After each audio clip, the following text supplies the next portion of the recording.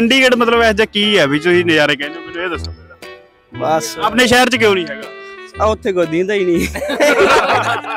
ਸਾਰੀ ਜੱਟਿਆਂ ਦੀ ਸਹੇਲੀ ਨਹੀਂ ਹੈਗੀ ਇਹਦੀ ਸਹੇਲੀ ਹੈ। ਉਹ ਮੈਂ ਤਾਂ ਜਦੋਂ ਇਹੋ ਜੀ ਹਾਂ ਵੇਖਦਾ ਨਾ ਇਹਦੀ ਸਹੇਲੀ ਦੀ ਫੋਟੋ ਮਰਨ ਨੂੰ ਜੀ ਕਰਦਾ ਬਸ। ਉਹ ਫਿਰ ਖਰਚੇ ਜ਼ਿਆਦੇ ਹੋ ਜਾਂਦੇ ਨਾ ਕੁੜੀਆਂ ਦੇ ਹੁਣ ਜਿਵੇਂ ਲੱਖ ਆਊਗੀ ਉਹ ਕਹੂਗੀ ਲੱਖ 'ਚ ਤਾਂ ਮੈਂ ਆਪਦੇ ਖਰਚੇ ਪੂਰੇ ਕਰਦੀ ਆ ਤੇ ਜੇ ਮੈਂ ਉਹ- ਉਹਦੇ ਉੱਤੇ ਕਰਨੇ ਖਰਚੇ ਪੂਰੇ ਫਿਰ ਮੈਂ ਤਾਂ 1.5 ਲੱਖ ਲੈ ਲੱਭੂ ਤਾਂ ਹੀ ਉੱਤੇ ਕਰੂੰਗੀ।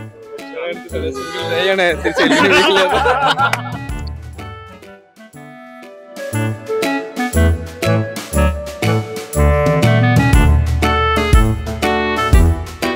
ਹੈਲੋ ਬਾਈ ਕੀ ਹਾਲ ਹੈ ਬਾਈ ਠੀਕ ਹੋ ਵਧੀਆ ਜੀ ਕਿਵੇਂ ਘੁੰਮ ਇੱਥੇ ਕਿਵੇਂ ਘੁੰਮ ਰਹੇ ਹੋ ਟਾਈਮ ਪਾਸ ਕਰਨਾ ਹੈ ਵੀ ਅੱਛਾ ਕਿੱਥੋਂ ਕਿੱਥੋਂ ਸਾਰੇ ਫਾਈਲ ਲਗਾ ਦੋ ਬਈ ਤੁਸੀਂ ਬਾਈ ਫਾਜ਼ਿਲ ਕਾ ਫਾਜ਼ਿਲ ਫਾਜ਼ਿਲ ਕਾ ਦੋ ਅੱਛਾ ਬਾਈ ਆਜੋ ਇੱਧਰ ਆਜੋ।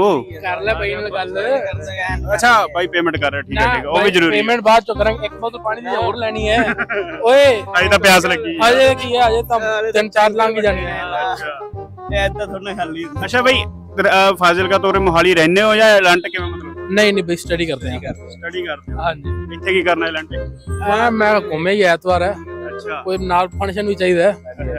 ਚਾਹੀਦਾ ਜੀ। ਨਹੀਂ ਮਤਲਬ ਇਲਾਂਟੇ ਹੀ ਕਿਉਂ? ਹੋਰ ਜਗ੍ਹਾ ਬਹੁਤ ਨੇ।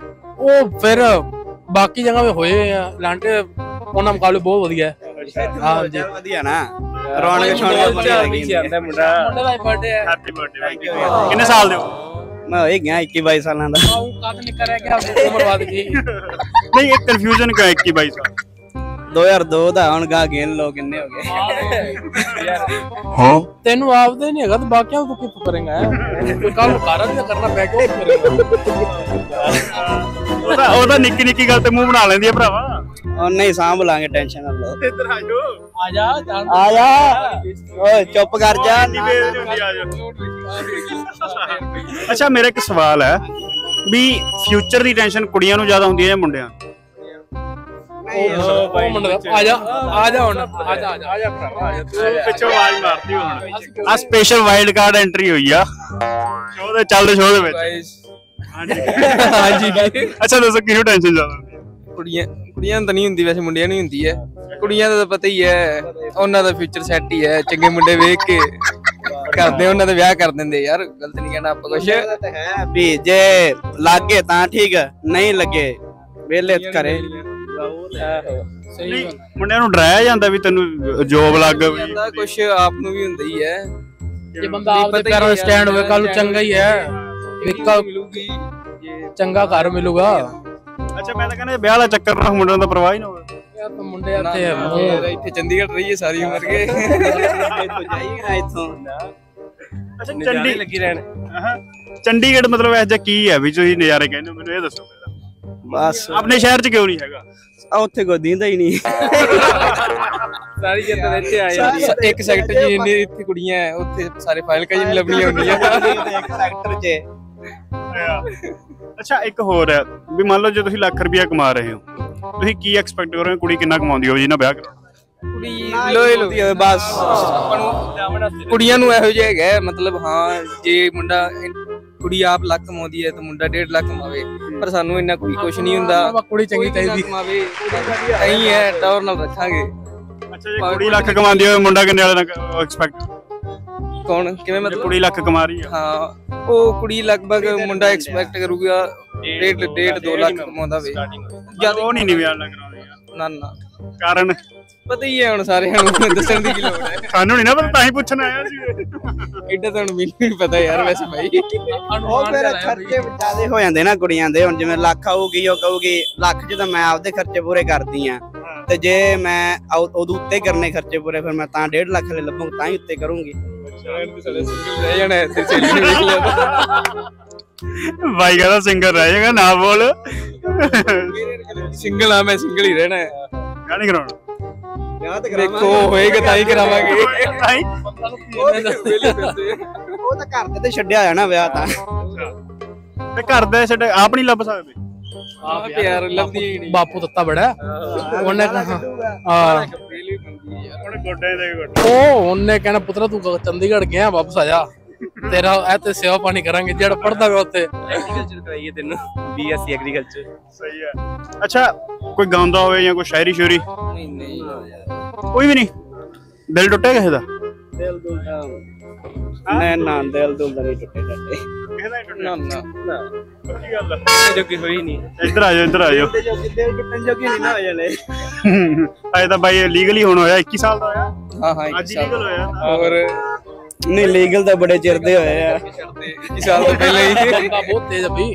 ਆਇਆ ਹੋਰ? ਜਿਨ੍ਹਾਂ ਨੇ ਇੱਕ ਉਹਨਾਂ ਦੇਖਾ। ਸਾਡੇ ਵਰਗੇ ਦੀ ਸਹੇਲੀ ਨਹੀਂ ਹੈਗੀ ਇਹਦੀ ਸਹੇਲੀ ਹੈ। ਉਹ ਵੀ ਚਾਰ ਮੈਂ ਤਾਂ ਜਦੋਂ ਇਹੋ ਜੀ ਹਾਂ ਵੇਖਦਾ ਨਾ ਇਹਦੀ ਸਹੇਲੀ ਦੀ ਫੋਟੋ ਮਰਨ ਨੂੰ ਜੀ ਕਰਦਾ ਬਸ। ਮਰ ਗਿਆ ਮੈਂ।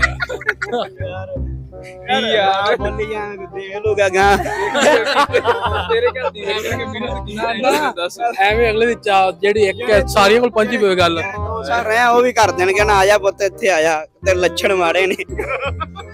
ਫਿਰ ਸਮਝ ਲਓ ਫੋਨ ਆਉਣ ਹੀ ਵਾਲਾ ਘਰੋਂ। ਕੌਣ ਹੀ ਆਲਾ ਇਹ ਤਾਂ ਡੈਡੀ ਨਹੀਂ ਚਲਾਉਂਦੇ ਯਾਰ ਸੋਸ਼ਲ ਮੀਡੀਆ ਬੇਬੇ ਦਾ ਚਲਾਉਂਦੀ ਉਹ। ਬੇਬੇ। ਨਾ ਨਾ ਬੇਬੇ ਕਿਤੇ ਓਏ ਗਵਾਂਢੀ ਨਹੀਂ ਮਾਨ। ਪੰਜਾਬ ਇਹ ਤਾਂ ਤੁਹਾਨੂੰ ਪਤਾ ਉਹੀ। ਰਿਸ਼ਤੇਦਾਰੀ ਨਹੀਂ ਮਾਣ ਕੇ ਨੇ ਵੇਖ ਲਿਆ ਉਹਨੇ ਫੋਨ ਘੁਮਾ ਦੇਣਾ। ਤੁਹਾਡਾ ਮੁੰਡਾ ਕੀ ਸੁਣਾਉਂਦਾ ਪਿਆ ਉੱਥੇ? ਸਹੇਲੀਆਂ ਸੁਲੀਆਂ ਰੱਖੀ ਬੈਠਾ ਜੋ। ਸੱਦ ਲੋ ਇਹਨੂੰ ਵਿਗੜ ਜਾਣਾ। ਉਹ ਵੀ ਚਾਰ ਚਾਰ ਵਾਹ ਵਿਗੜ ਜਾਣਾ ਜੋ ਨੇ ਹੱਥੋਂ ਨਿਕਲ ਜਾਣਾ ਜੋ। ਠੀਕ ਆ ਵੀ ਉੱਡਾ ਕੋ। ਹਾਂ। ਵੈਸੇ ਹੋਰ ਕੀ ਕਰਦੇ ਹੋ ਰੇ ਮਤਲਬ ਸਿਰਫ ਸਟੱਡੀ ਕਰ ਰਹੇ ਹੋ ਜਾਂ ਇਨਕਮ ਵਾਸਤੇ? ਟ੍ਰੇਡਿੰਗ ਕਰੀ ਜਾਂਦੇ ਸਟਾਕ ਮਾਰਕੀਟ ਅੱਛਾ।